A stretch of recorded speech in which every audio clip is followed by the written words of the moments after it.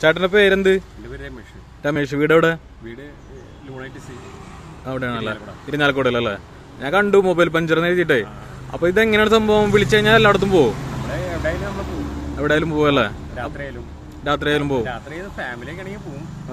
തട്ടിപ്പുകൾ നമ്മൾ പെടാറുണ്ട് അതുകൊണ്ടാണ്. തട്ടിപ്പുകൾ പെടാറുണ്ട് അല്ലേ ഓക്കെ അപ്പൊ ഈ പഞ്ചറിൽ എങ്ങനെയൊക്കെയാണ് ചാർജ് ഒക്കെ ഈടാക്കണം എങ്ങനെയാ? ചാർജ് നമ്മളിവിടെ ഇരുന്നൂറ് രൂപയാണ്.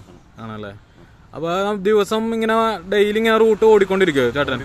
നമ്മളിപ്പോ ഒരു സ്ഥലത്ത് കിട്ടുകയും അവിടെ വെയിറ്റ് ചെയ്യും. അല്ലെങ്കിൽ പോയിക്കൊണ്ടിരിക്കും. പോയിക്കൊണ്ടിരിക്കും. സ്ഥലമില്ല ഇല്ല അല്ലേ? അപ്പൊ എങ്ങനെ ദിവസമൊക്കെ പൈസ കിട്ടാറുണ്ടോ? അല്ലെങ്കിൽ എങ്ങനെയാണ്? ചില ദിവസങ്ങളൊന്നും ഉണ്ടാവില്ല. ചില ദിവസം നല്ല പണി ഉണ്ടാവും. ഞായറാഴ്ച നല്ല പണിയാണ് ഞായറാഴ്ച നല്ല പണിയുണ്ടല്ലേ?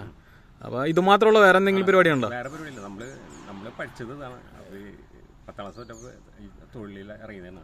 ആണല്ലേ? ഈ പഞ്ചർ തന്നെയാണല്ലേ കുറെ നാളായി. എത്ര നാളായി ഇപ്പൊ ഏകദേശം? വർഷമായി നമ്മൾ ഈ ഫീൽഡിൽ ഇപ്പൊ മൊബൈൽ പഞ്ചർ തുടങ്ങിയിട്ട് ഒരു നാല് വർഷമായിട്ടുള്ളൂ. മൊബൈൽ പഞ്ചർ നാല് വർഷമല്ലേ? പഞ്ചർ പൊട്ടിക്കൽ മുപ്പത്തിരണ്ട് വർഷമായിട്ടുണ്ടല്ലേ? ആണല്ലേ? നല്ല രീതിയിൽ പോകുന്നുണ്ടോ കാര്യങ്ങൾ ഇത് മാത്രമല്ല ഇതുകൊണ്ട് നമ്മൾ ജീവിച്ച് പോണ്. ജയിച്ചുകൊണ്ടല്ലേ ഒരു ദിവസം ഏകദേശം എത്ര കിട്ടുന്നുണ്ടാവും ഏകദേശം? ഏകദേശം നമുക്ക് ചുരുങ്ങിയത് നമുക്കൊരു പത്തായിരത്തി ആയിരം അഡ്ജസ്റ്റ് ചെയ്ത് പോവാം. ആയിരം സംതിങ് നമ്മൾ ജീവിച്ച് ഓക്കെ.